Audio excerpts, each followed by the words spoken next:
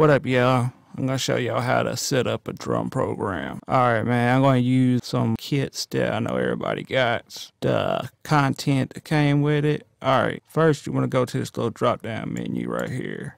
We're gonna hit factory content. Boom, these will come up right here. If you ain't seen my other video on how to set these folders and all this stuff up, then go go check that out right now. Get out of here. Nah, I'm just joking, but I'll show you.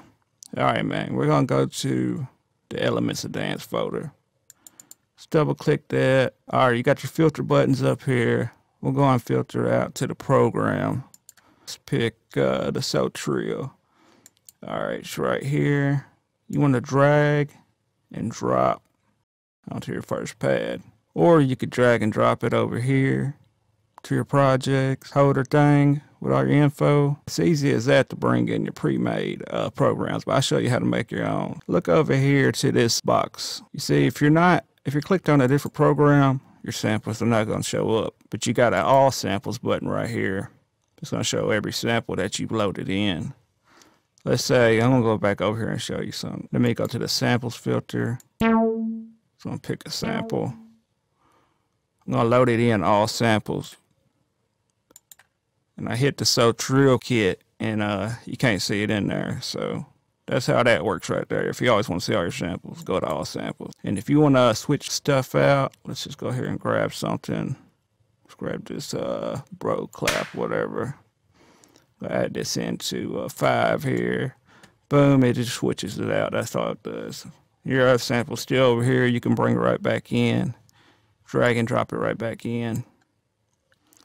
All right, I know you want to know how to set up your own program, so I'm going to show you how to do that. You can keep this program or throw it away, whatever. I'll show you how to delete it. All right, go over here to the Trio, this little box, and you want to right click it and hit delete. Sure you want to delete? Yeah, I'm sure, man.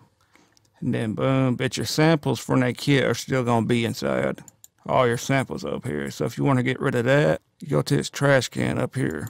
Pull that on the screen here. You got purge unused samples. That's going to delete all samples that's not assigned to a pad. If you got samples assigned to the pad, it's not going to delete that sample. But uh, delete all samples, that's going to do what it says. Delete all samples you got loaded up. So do it. We're cool. We're fresh to go. Now you see over here, always when you start a new project, you're going to have a program one. So we're going to use that to make a new program.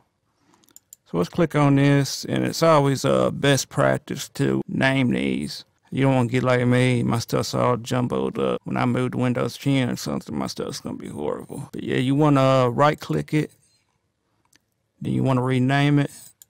We're going to see here, we're going to rename it something like, uh, yeah, JoJo's Funhouse.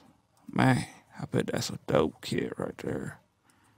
Is that JoJo's Funhouse? All right, okay, we got that. Push OK, and boom, you got your program right here. All right, I'm gonna go over here to my samples are. Got a video on this, so go check it out. Reset your folders. I'm gonna go to a kit, one of the best drum kits I always mess with, T Customs, man. Go check him out if you don't know about him. Hit him up on YouTube, his site. He got some great free drum kits, man. We're just gonna load in. Just double click that on your folder. It's gonna load in his first kit. Boom, you hit it. And all you gotta do is drag and drop them over a bit. See down here, this little box? This is where you can add new programs too you can push the, well, here's the drop down menu by the type. You got drum programs, plugins, the MIDI, and the key group. Uh, you can use key groups too, make bass lines, different stuff. I don't use, I use drum programs for my drums and my samples, so we're just gonna study on drum programs. And you could go right here and add another one with the little plus button. Let's make sure we got our drum kit selected. So when I do drop a sample in here, it'll drop on the pad. I'm gonna pull the snare over here. Boom. Let's pull a kick. Boom. Hat. Boom. They're set. but they're set. And uh, you want to do to save these, you know, after you done set up your drum kit, and you want to save this for another project for easy access. Like I got up here, my kits with my programs. I already got them set up so I can pull them straight in for a new project when I want to. You can save them down this way or you can save them up here. I never use this, so I'm not sure exactly. It probably does the same thing. Save current program. I'm going to show you the way down here. You want to go down here under your programs. You want to right click it. You want to hit save. Boom. It's going to pull up the window to your directory. You know, you can find out. You can get to your windows anywhere from here, your desktop, wherever you got your stuff at.